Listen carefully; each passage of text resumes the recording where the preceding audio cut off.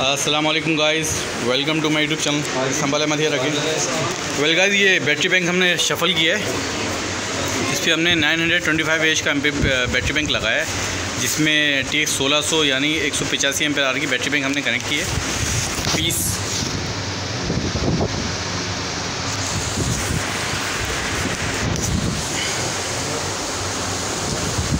अच्छा हीट सिल्व लगी हुई है। टेप हम लोगों ने इस्तेमाल तकरीबन तक कर दिया है। ये बीस बैटरी बैंक है और सॉरी बीस बैटरीज़ हैं और चार, पाँच बैंक हैं हमारे।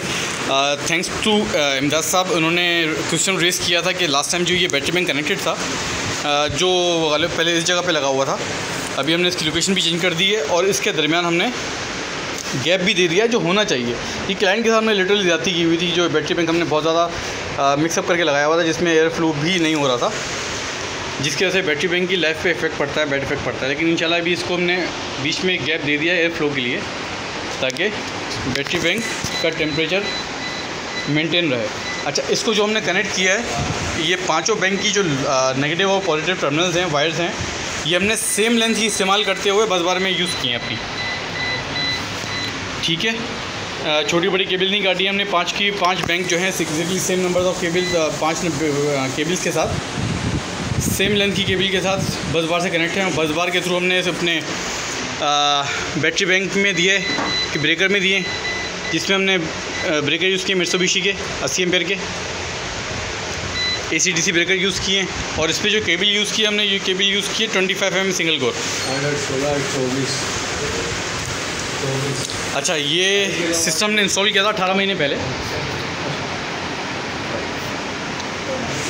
और पाँच पाँच किलोवाट के इन्वर्टर यूज़ किए थे इन्वर्स के मैक्स पार और sorry Inverex expert king M K S inverter use किए थे और आउटपुट्स की हमने कॉमन किए पैरल किट इस्तेमाल किए हमने इस पर अच्छा साइड विज़िट हमने तकरीबन कुछ दिन पहले ही किया है, क्योंकि कंप्लेन अब आई है अठारह महीने के बाद।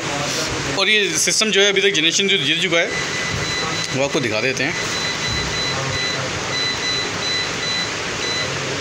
अभी तक ओवरऑल हमारा एक नंबर जो एक नंबर इन्वर्टर है, वो 10.7 मेगावाट आर की जनरेशन दे चुका है और 6.1 मेगावाट आर से लोड चलाया है। और हमारे सेकंड इन्वर्टर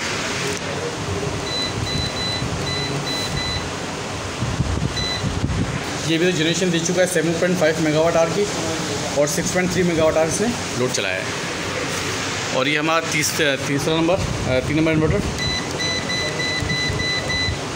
ये इन्वर्टर हमारा 7.9 मेगावाट आवर की जनरेशन दे चुका है और इसने लोड चलाया है 18 किलोवाट आवर।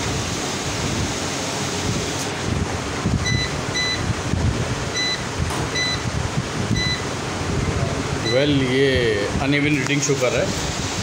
इसको रीडिंग ये नहीं शो करनी चाहिए थी आउटपुट पे, जो इस वक्त शो कर रहा है।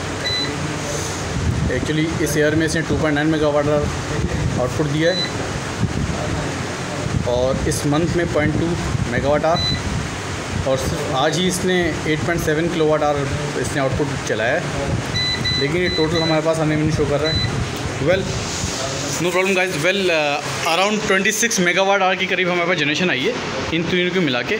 और 26 megawatt hour divide by 18 month divide by 30 days around 45 kilowatt hour की हमारे पास एवरेज जनरेशन आ रही है।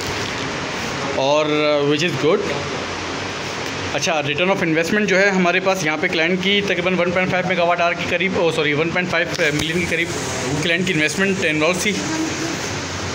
और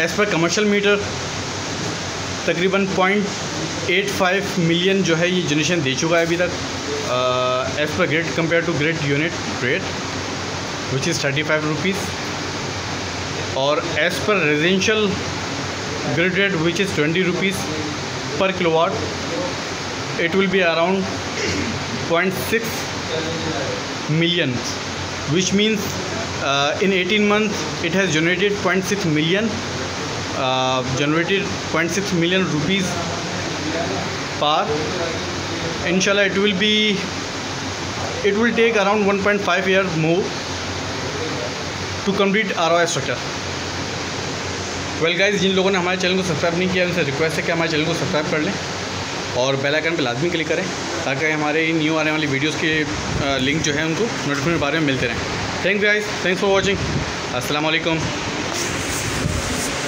पठान लास्ट कमेंट कहाँ गया